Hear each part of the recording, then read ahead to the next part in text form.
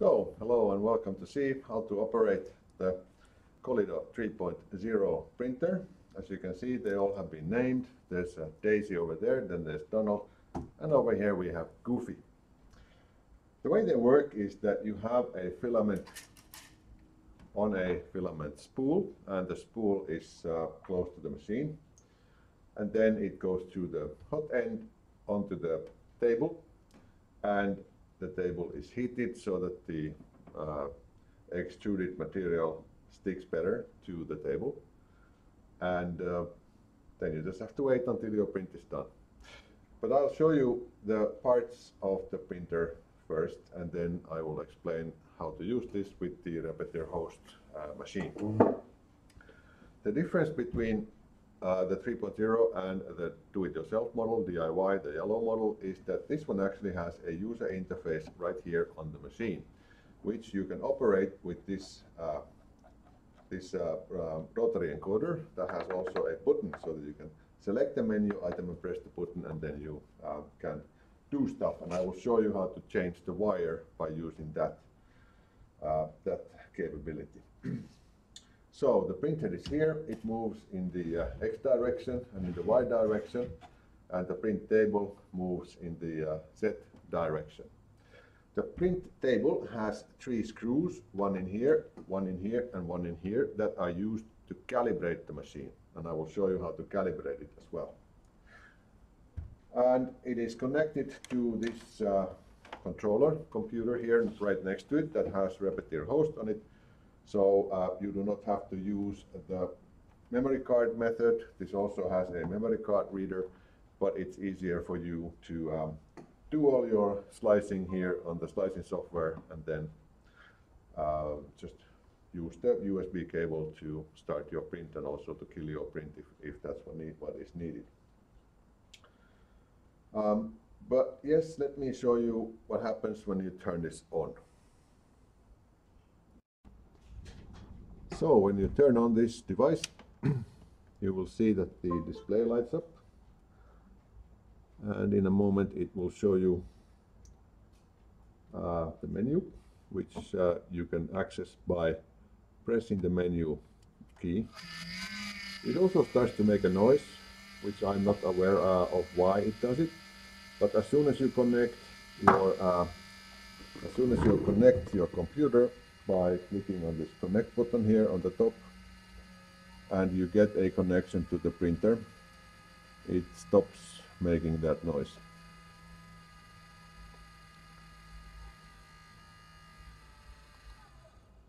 So now we have a connection. But if I wanted to change the filament for example I can press on the button here. And in the prepare menu click on that, it will say change filament, click on that. I want to unload my filament, click on that, and it is PLA filament. Now you can see how the table starts to come down. And it also turns on the, the uh, printhead heat up to 190 degrees or so and after that you can unload your filament. The reason it says check filament in here, error check filament, is because I am currently leading the wire from above and here behind the machine there is a black box which is the uh, sensor for the wire. It would be a better idea to lead the filament from behind and under this box. There's a hole in the box. Just go in insert the wire in this box and after that the machine in principle knows that it has wire. But it's not strictly necessary because it doesn't know anything how to do anything with it anyway. And currently we are at uh, 24 degrees. We are aiming at 205 degrees and once we have the 205 degrees in there it will then retract the wire uh, in case you want to retract the wire manually there is a lever here which you can depress once you have the heat. You can do nothing with the filament if you don't have the heat in, in the region of 200 degrees. But currently we are 65 degrees, it's going to take some time still. But I could depress this lever here and pull out the wire, change the wire, and push the wire back in until it stops. And then I could use the manual controls on a repetier host to feed the wire into the machine. Or if you want to, you can use this interface here that I just showed you, this one, to actually load the filament. So there are many ways of getting stuff done in here. This is going to take some time. I will pause the video for a moment. So we are currently arriving at 205 degrees. And that means we can uh, depress the lever here and pull out the wire. Now before you feed a filament again into the machine you need to make sure that you cut this so that it is not um, it's not like molten at the end and straighten it up a bit and then push it into the hole on the top of the print head. I'll give you more access to it now. This is the hole that I mean. Push it in there. And then in the Repetier host control software, you click on the feed 50 millimeter button. Now, if you place your finger here like this, you can feel that the printer is actually is actually eating the wire. And when you come down, you can see when the filament starts to get extruded down here. I'll feed a little more, 20 millimeters. And now you can see how there is extrusion happening over here. So that is the basic uh, method for changing the filament. And now I will show you how to calibrate this machine. Calibration, you go back to the menu and you go to uh, uh, prepare. You go into calibrate mode, you click on this, and now it will it will uh, take the table up to the correct height and after that it will move the print head into four locations and you will have to use a piece of paper to uh, get the proper height between the print head and the print table.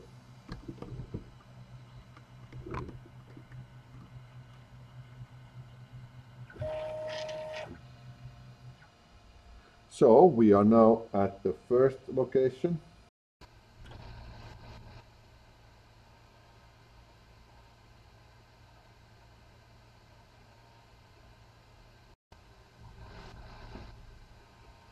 So now I will need something to print. Here in Repetier host I will place the calibration disk 10 centimeters and go into my slicer tab. And in here I can see that the print settings are currently at 0.2 millimeters per layer height 30% uh, infill and rectilinear 50 now rectilinear is uh, for the infill type and the 50 is for the speed of the print head now in these printers 60 is the absolute maximum. You don't go past that. And on the filament settings I have PLA 1.75 millimeters, which is of course the only one you can use in these. 205 degrees on the print head and 60, de uh, um, 60 degrees on the table. These should be fine, so I will slice with slicer. And I will now see that I need 58 centimeters of wire. And when I go to click print, it will start to heat the print uh, bed, uh, which is currently at 56 degrees. So when this one reaches uh, 60 degrees, it's going to start to print. So we can go up here and see how it's going to work.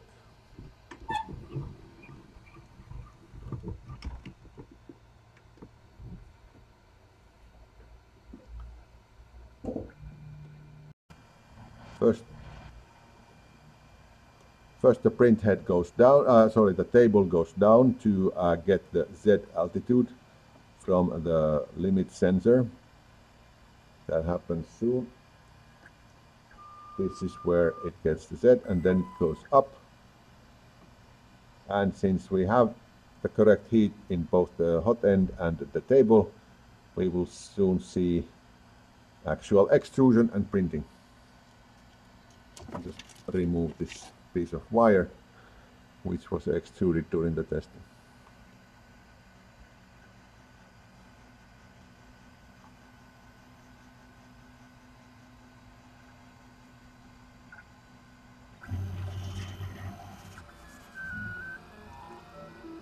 And it's starting to print and we can already see that we are too high.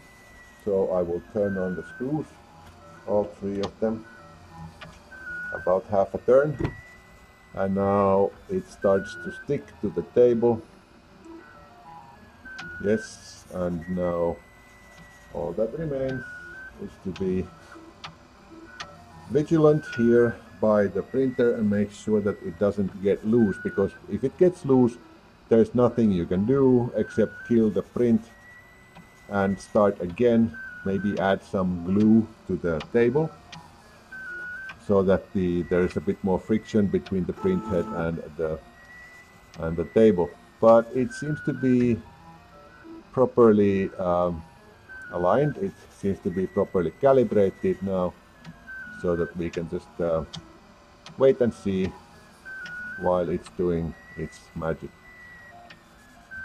Uh, if you start to hear a knocking sound from the print head, it means that it's not feeding properly and you may want to, to try again with a more heat because it's, it's uh, struggling to push the material through the print head. I was still a bit high here, so uh, a bit low here, so I will uh, go a bit more high. Just to get that nice and smooth uh, print.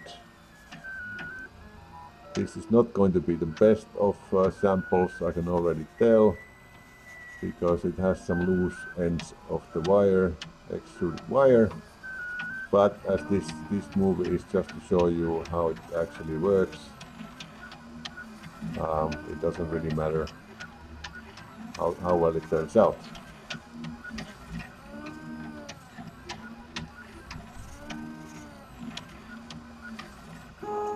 And that is pretty much what there is to it. Uh, we are now just waiting for the print to happen. It's going to take six minutes, so I will, I will pause the video for a while. So as you can see, it's not going to be the most beautiful of prints, but I let it to run anyway, because I can now tell you that there are two issues here. One is that we are too high. The print head is too high from the table, and that means the uh, print will not stick to the table properly. And there's also too little adhesion, i.e. glue, here on the right hand side. You can see that there are prints, parts of the print that are uh, separated from the other prints. So to get this thing to work properly, I would uh, kill this print and then turn the screws, all three screws, up maybe one third of a turn and then try again until I have a nice complete adhesion to the table. I would also add some glue because this is already old, old glue. And with the with the better glue, I hope I would be able to have a nice solid print out of this. And now it's done, but it really doesn't look too well. But that's what 3D printing is all about. It's about trying out and testing. So this was uh, how to use the Colido 3.0 and the next thing we're going to do is to look at uh, how to use the Scrooge, which is our 3 millimeter filament dual extruder uh, professional quality printer.